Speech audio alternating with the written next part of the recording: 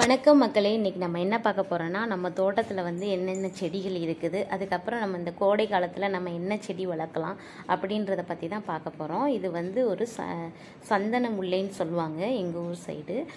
இந்த செடி வந்து ஒரு சின்னதாக வச்சாலே போதும் நிறைய வந்துடும் பார்த்துக்கோங்க. அதுக்கப்புறம் நம்ம பூக்கள் பறித்து டெய்லி கட்டுறதுக்குள்ளே ஒரு வழி ஆயிடுவோம் அதனால் நம்ம வந்து இது எல்லார் வீட்லேயுமே ஒரு ஒரு செடி வச்சுக்கோங்க. ஏன்னா நம்ம பூ வெளியே வாங்க தேவையே இல்லை. சூப்பராக பூக்கும். அதுக்கப்புறம் வந்து மல்லிகைப்பூ. என்கிட்ட இருக்கிறது வந்து குண்டு மல்லி. அது வந்து நல்ல ஒரு அந்த லேயர்லாம் நம்ம பிரித்து பார்த்தோன்னா ஒரு டுவெண்ட்டி ஒன் லேயர் இருக்கும். அந்த அளவுக்கு அது வந்து மல்லிப்பூ வந்து பெருசாக இருக்கும். இதுதான் அந்த குண்டு மல்லி செடி. இது வந்து நம்ம இப்போவுமே வந்து என்ன செஞ்சிடணும்னா எல்லா இலையும் பிரித்து விட்டுறணும். எல்லா இலையும் பிச்சு விட்டுட்டு அதுக்கப்புறம் அந்த நல்லா கட் பண்ணி விட்டோம்னா அது புது புது தளிர் வந்து நிறைய பூ பூக்க ஆரம்பிச்சிடும் மல்லிகைப்பூ வந்து வளர்கிற சீசன் தான் இது. அதுக்கப்புறம் வந்து பச்சை மிளகாய் பச்சை மிளகாய் வந்து இந்த வெயில் காலத்தில் சூப்பராக வரும். எல்லாருமே வைங்க. நல்லாவே அழகாக ஈல்டு எடுக்கலாம். அப்புறம் நம்ம வந்து அவரைக்காய் வந்து இந்த வெயில்லையுமே நல்லாவே வரும். நம்ம வந்து வளர்க்குற இப்போ இப்போ வந்து நம்ம எந்த செடியுமே வந்து பறிச்செல்லாம் போட்டுறக்கூடாது. இது வந்து காஞ்சு போச்சு அப்படியாச்சு இப்படியாச்சுன்னு சொல்லி க பறிச்செல்லாம் போட்டுறாதீங்க. இருக்கிற செடியிலேயே நல்லா தண்ணி ஊற்றி தண்ணி ஊற்றி வளங்க ஏன்னா இருக்கிற செடியே அது ரொம்ப கஷ்டப்பட்டு தான் வளரும். இப்போ நம்ம விதை போட்டு வளர்த்தோம்னா அது எதுவுமே வளராது. இந்த வெயிலுக்கு தாக்கு பிடிச்சி வளரவே செய்யாது.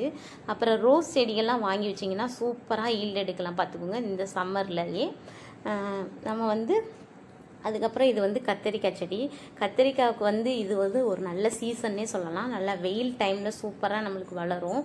அஹ் கத்தரி இது வந்து நம்மள்ட்ட வந்து நெய் கத்திரிக்காய்ன்னு சொல்லுவாங்க இல்லையா?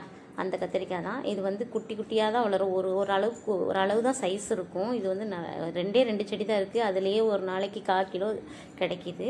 அதுக்கப்புறம் வெண்டைக்காய் போட்டோம்னா நல்ல சூப்பராக வரும்.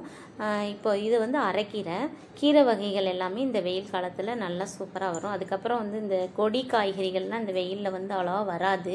அதனால் அதெல்லாம் நம்ம போட வேணாம். எல்லா கீரை வகைகளுமே வரும். இது வந்து செவ்வந்தி அது வந்து டிசம்பரில் தான் நல்லாவே வரும். ஆனால் இப்போ வந்து அது ரொம்ப கஷ்டப்பட்டு தான் வளரும்.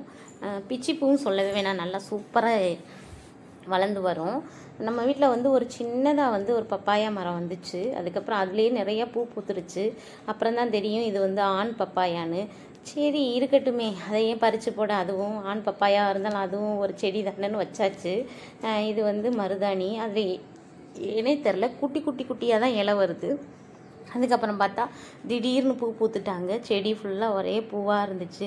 சரி நம்ம என்ன காய்க்க உதவுமேன்னு சொல்லிட்டு அதெல்லாம் விட்டாச்சு அப்படியே. அதுக்கப்புறம் தக்காளி அங்கங்கே ஒரு தக்காளி செடி மாங்கன்று இதெல்லாம் வச்சு விட்ருக்கோம் எல்லாமே குட்டி குட்டியாக வளர்ந்துக்கிட்டு வருது. அதுக்கப்புறம் இந்த வீடியோவில் ஒரு முக்கியமான விஷயம் உங்கள்கிட்ட நான் சொல்லணும். அது என்னென்னா நாளைக்கு ஏப்ரல் டென் என்னோட பர்த்டே. அப்புறம் என்ன சொன்னாலும் மக்கள் வந்து வயசை மட்டும் சொல்லக்கூடாதுன்னு சொல்லுவாங்க இல்லையா? அப்படியெல்லாம் இல்லை எனக்கு. எனக்கு வந்து நாளைக்கு ஏப்ரல் டென் என்னோட தேர்ட்டி த்ரீ இயர்ஸ் வந்து தொடங்குது நாளையிலேருந்து.